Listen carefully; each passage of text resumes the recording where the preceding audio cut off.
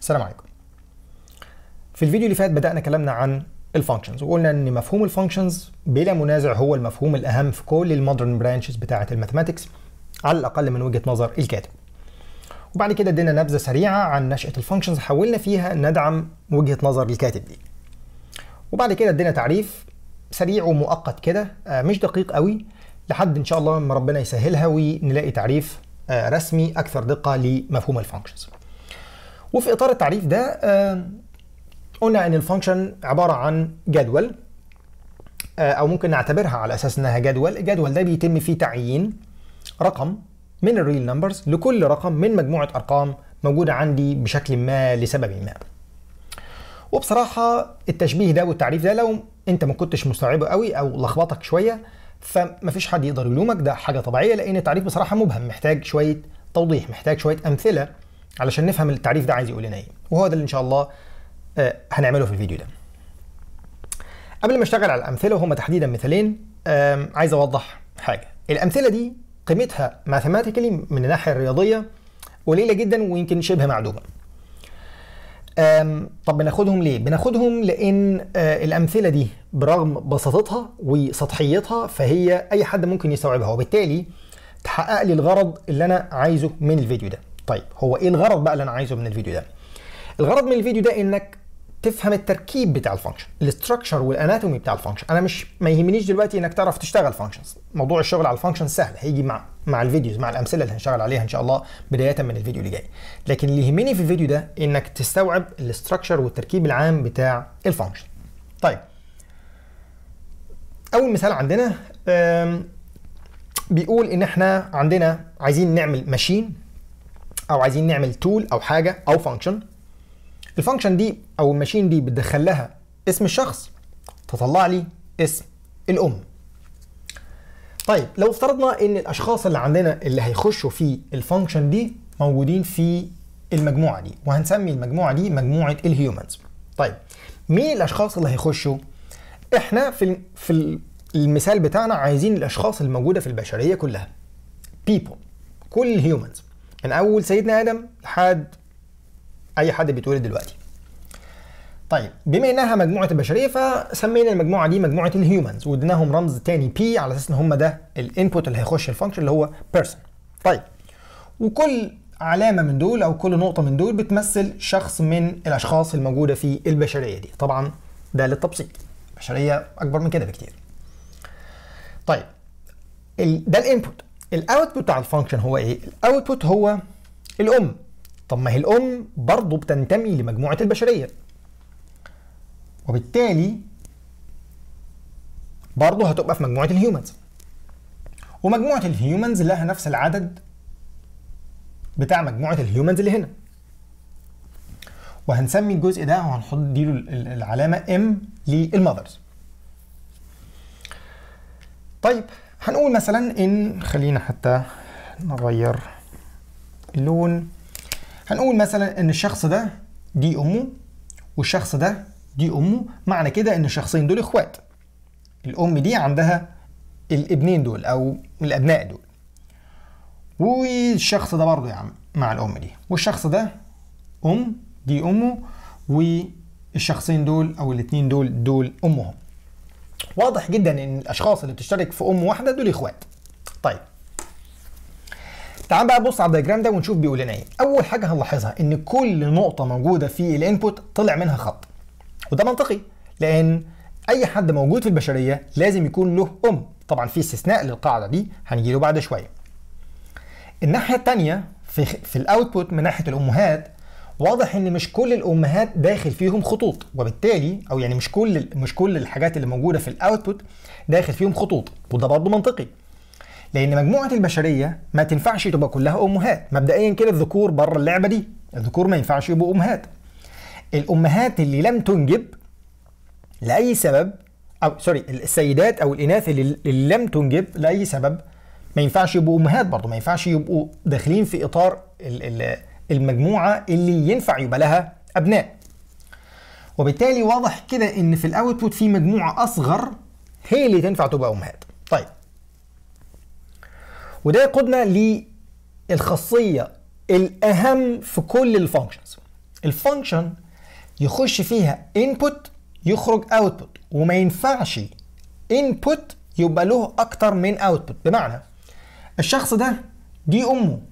ما ينفعش يقول إن الشخص ده دي أمه ودي كمان أمه. مفيش حاجة في الدنيا كده. المثال ده مثال واضح جدا لخاصية من أهم خصائص ال function إن ال function يخش لها input يخرج output واحد فقط. العكس مش صحيح. ممكن أكتر من input يشتركوا في output زي مثلا الاثنين دول إخوات لهم أم واحدة. ده عادي ده ما فيهوش مشكلة. طيب نرجع بقى للاستثناء. في ال input إحنا قلنا إن كل واحد من ال inputs دول لازم يطلع له output لكن إحنا عارفين إن مجموعة البشرية فيها استثنائين ما ينفعش ال function دي تشتغل عليهم. سيدنا آدم وسيدتنا حواء. مالهمش مالهمش أمهات. طيب هنعمل فيهم إيه؟ خلي الموضوع ده على جنب شوية. هنرجع له بعد دقيقة. خلينا نبتدي نحط شوية مسميات. كل قيمة في ال input كل قيمة أو كل واحد من الأشخاص دول اللي ال function ينفع تشتغل عليه بنسميه argument. ده argument وده argument وده argument وده argument وهكذا. كل قيمة أو كل member من ال output اللي طالع في ال output بنسميه value. يبقى ال function يخش لها argument يطلع منها value. المجموعة كلها اللي ال function تنفع تشتغل عليها بنسميها ال domain. المجموعة كلها اللي بينتمي ليها كل أفراد ال output بنسميها ال codomain.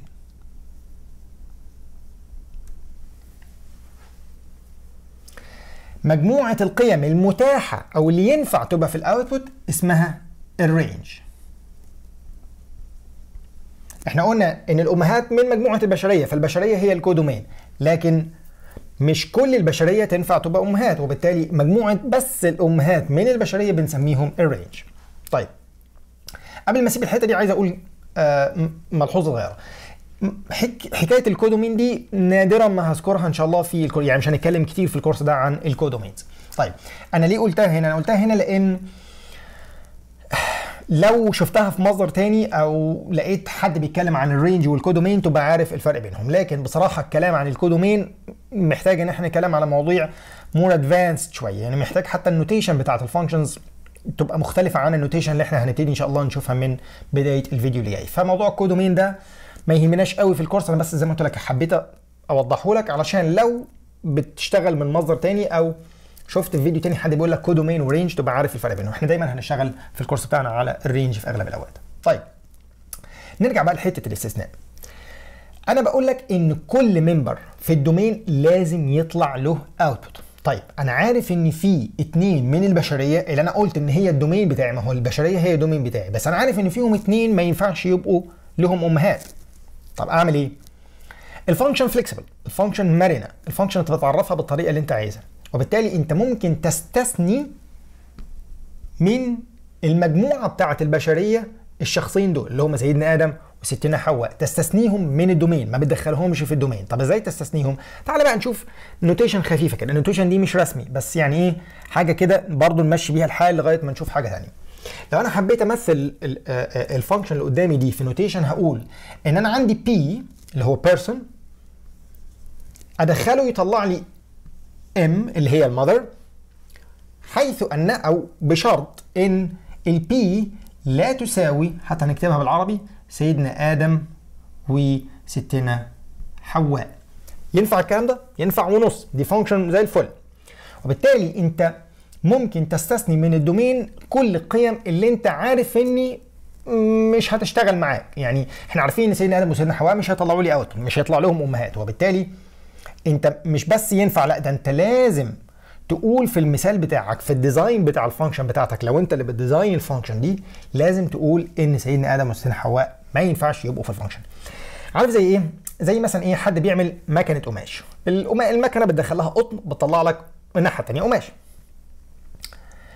اللي بيصنع المكنة دي بيقول لك إن المكنة دي ينفع يخش فيها جميع أنواع ال material زي مثلا قطن وصوف ومش عارف وبوليستر والكلام ده كله بس ما ينفعش يخش فيها حرير. وبالتالي أنت ممكن تدخل فيها ال material اللي أنت عايزها بتطلع لك الناحيه الثانية قماش. ولكن لو دخلت فيها حرير مش هتطلع لك قماش. بالعكس ده ممكن تبوظ لك ال machine. وبالتالي الشخص اللي بيصنع ال machine ملزم إنه يكتب في ال notes بتاعتها أو في ال sticker بتاعها أو في ال manual بتاعها في مكان ما لازم يعرفك إن المكنة دي ما بتشتغلش في الحرير. وبالتالي أنت ملزم انك ما تدخلش في المكنه دي حرير. نفس النظام هنا. أنا عارف وأنا ب design ال function عارف ان سيدنا آدم وسيدتنا حواء ما لهمش أمهات وبالتالي ما ينفعش أصلا يبقوا في ال domain بتاع ال function. وبالتالي أنا ممكن أحط اللي أنا عايزه في ال domain بس لازم أستثني منهم القيم اللي أنا عارف إنها ما بتشتغلش في ال domain. أنا مجبر على كده. طيب ده كان المثال الأولاني. الغرض الأساسي منه إن أنا أقول لك ال structure اللي أنت شايفه قدامك ده. إن أنا عندي ال function بيخش لها argument يطلع منها value كل ال arguments بيكونوا لي حاجة كبيرة اسمها ال domain ال domain هو كل ال values اللي ال function تنفع تشتغل عليها. الناحية الثانية عندي حاجة اسمها codomain اللي هي المجموعة الكبيرة اللي كل ال output بينتمي ليها لكن مش شرط إنها كلها تبقى مستغلة. القيم بس اللي ينفع تطلع في ال function تحديدا وطبعا ده بيختلف من function ل function بنسميها ال range وال range هو المفهوم أو هو الجزء اللي هنشتغل فيه إن شاء الله كتير في الأمثلة اللي جاية. آه وده تمثيل طبعا بسيط للفانكشن المثال اللي بعده هيديني حاجة كمان في تركيب ال function. تعال نروح نشوفه. قبل ما نخش في تفاصيل المثال الثاني خلينا نكتب ال notation بتاعة المثال الأول. إحنا قلنا إن في المثال الأول ال P بتطلع لي M وإن ال P لا تساوي سيدنا آدم وستنا حواء وده ما يفرقش معايا كتير قوي هنا. أنا بس حبيت أقول لك ال notation دي عشان هرجع لها بعد شوية. طيب المثال اللي عندنا المثال الثاني شبه المثال الأولاني برضو عندنا مجموعة البشرية كلها اللي هي H وفيها بقى اللي هي طبعا دي ال H 1 2 3 4 5 6 فيها مجموعة الأفراد اللي في البشرية كلها. والناحية الثانية بتطلع لي بقى إيه؟ مش بتطلع لي أمهات بتطلع لي حاجة ثانية بتطلع لي numbers تحديدا بتطلع لي ages بتطلع لي أعمار الأشخاص دي. يعني ده ال P الناحية الثانية بنطلع age طيب.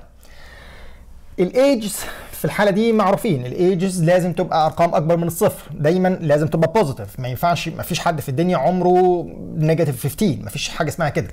فطبعا هنديها الرقم N على أساس إنها number و positive علشان نقول إنها في الأرقام ال positive طبعا الأرقام ال positive ما لا نهاية لكن طبعا معروف إن في حد أقصى. يعني ما أعتقدش إن في حد مثلا في البشرية تعدى 2000 سنة. الله أعلم طبعا بس أنا بقول إيه يعني في limit أكيد في أعمار البشر. طيب وبرضو عندي هنا شوية قيم وهكذا. إحنا طبعا مش هنخش في تفاصيل الكلام ده إحنا already ناقشنا الكلام ده في المثال الأولاني. اللي أنا عايز أقوله هنا إيه بقى؟ إن في شرط في ال function دي.